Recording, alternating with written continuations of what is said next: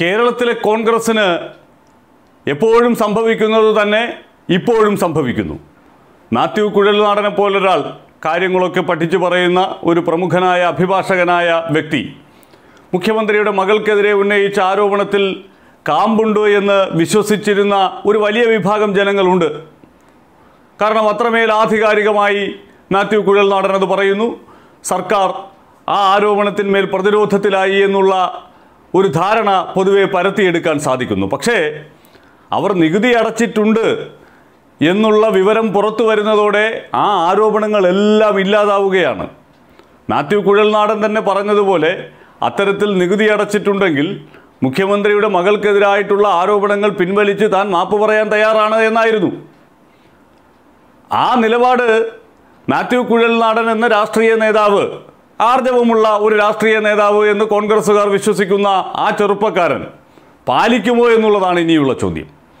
ഇപ്പോൾ പുതിയ എന്തൊക്കെയോ ആരോപണങ്ങൾ പറയാനുണ്ട് എന്നാണ് മാത്യു കുഴലാണ് പറയുന്നത്. പക്ഷേ മാത്യു ഇവിടെ വീണാ വിജയൻ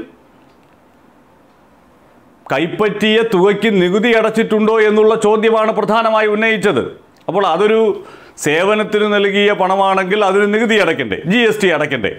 അത് അടച്ചിട്ടുണ്ടോ ഇല്ലയോ എന്നുള്ളതായിരുന്നു ചോദ്യം. ആ ചോദ്യത്തിന്റെ പേരിലാണ് മുഖ്യമന്ത്രിയെ അടക്കം നിഴലിൽ നിർത്താൻ മാത്യു കുഴൽനാടന് സാധിച്ചത്. പക്ഷേ അതില്ലാതാവുകയാണ്. അത്തരമൊരു ആരോപണത്തിന് പ്രസക്തിയില്ല എന്ന് വരികയാണ്. അപ്പോൾ ആ ആരോപണം ഇല്ലാതാകുന്ന സ്ഥിതിക്ക് പുതിയ ആരോപണങ്ങൾ കൊണ്ടുവന്നിട്ട് കാര്യമില്ല. ഇവിടെ ഉന്നയിച്ച ഒരു പ്രധാനപ്പെട്ട ആരോപണത്തിന് മാത്യു കുഴൽനാടന് ഉത്തരം കിട്ടിയിരിക്കുന്നു. മാത്യു കുഴൽനാടൻ പറഞ്ഞ കാര്യം തെറ്റാണ് എന്ന് പറയുന്നു. അതുമാത്രമല്ല മറ്റു ചില കമ്പനികൾക്ക് നൽകിയ സേവനത്തിനും നികുതി അടച്ചിട്ടുണ്ട്. അപ്പോൾ അത് ജി എസ് ടി വകുപ്പ് ധനവകുപ്പിനെ അറിയിച്ചു. ധനവകുപ്പ് അക്കാര്യം പുറത്തുവിടുന്നു.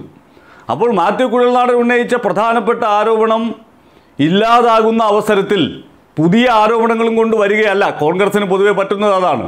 എന്തെങ്കിലും ഒന്ന് പറയും അത് തേയും അപ്പോൾ അടുത്തത് കൊണ്ടുവരും അത് തേയും അപ്പോൾ പുതിയത് കൊണ്ടുവരും അതും തേയും.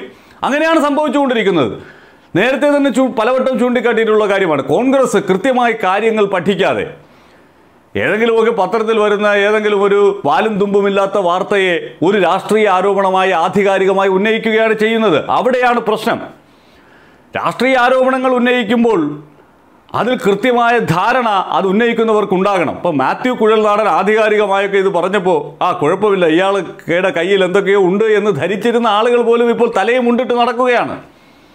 ഇതും ബാക്കിയുള്ളവരെ പോലെ തന്നെ നല്ല ഒന്നാം തരം വെടിക്കുറ്റിയാണ് എന്നുള്ളത് ബോധ്യപ്പെട്ടിരിക്കുന്നു ജനങ്ങൾക്ക്. മാത്യു കുഴൽനാടൻ എന്ന ചെറുപ്പക്കാരനും ഭാവിയിലേക്ക് കോൺഗ്രസ് കരുതി വയ്ക്കുന്ന ഒരു പ്രധാനപ്പെട്ട നേതാവിനും ഈ നേതാക്കന്മാരുടെ മുകളിലേക്കൊന്നും പോകാൻ സാധിച്ചിട്ടില്ല എന്ന് വ്യക്തമാകുന്നു.